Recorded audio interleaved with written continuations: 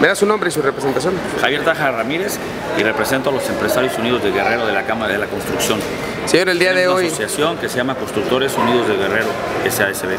el día de hoy se manifestaron de manera pacífica aquí en las entradas en las instalaciones del Ayuntamiento de Acapulco. ¿Cuáles fueron las peticiones o denuncias? La única petición que tenemos es que nos paguen los adeudos que nos deben del año 2012, cuando fue presidenta la señora Verónica Escobar, que nos contrataron, fue un periodo compartido con el licenciado Luis Walton, el tal no nos han pagado y estamos esperando que nos paguen, ya nos cansamos, hemos venido por la vía pacífica, hablar, hablar, hablar, hablar y nunca se nos ha resuelto nada, ¿no?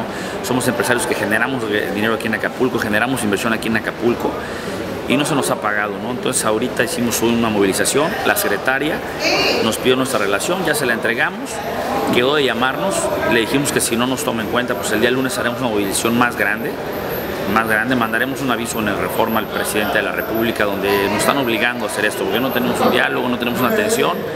Entonces, si no se nos atiende, tomaremos el día lunes una tomaremos cartas en el asunto, tomaremos a lo mejor cerraremos Cuauhtémoc, Costera, Cénica, haremos algo más grande, ¿no?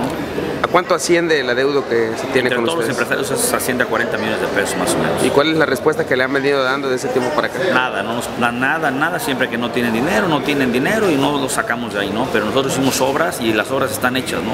Ya las supervisaron ellos, ya fueron su gente de ellos, las comprobaron en la AGE, no tienen ninguna... De parte de documentación y obras todo está totalmente certificado, no más que ellos no nos dan. Ahorita la secretaria se comprometió a hablar con el presidente y a llamarnos, no sé si es que tiene algún acuerdo y si no, pues nos dice si gana adelante con su movimiento. Perfecto. ¿Alguna intervención que quiera solicitar a través de esta entrevista para algún pues que nivel nos de gobierno? apoyen, ¿no? Toda la sociedad, ¿no? ¿Por qué? Porque no se vale que el Ayuntamiento de Acapulco pues sea el, el- el primer detonador a quebrar a los empresarios, ¿no? Los empresarios de Acapulco lo que queremos es salir adelante y invertir en Acapulco, pero si el mismo gobierno es el que nos quiebra, nos contrata y luego no nos paga, pues quiero que entiendan, nosotros tenemos deudas, ¿no? Los materiales, todo eso nos los dan a crédito y hay que pagarlos, tenemos demandas, nosotros nos están quebrando. Si el mismo ayuntamiento, el primer promotor para quebrarnos, pues ahora sí que dónde vamos a dar, ¿no? Con este ayuntamiento. Así es. Pues algo más que se agregar aprovechando Nada más, muchas gracias.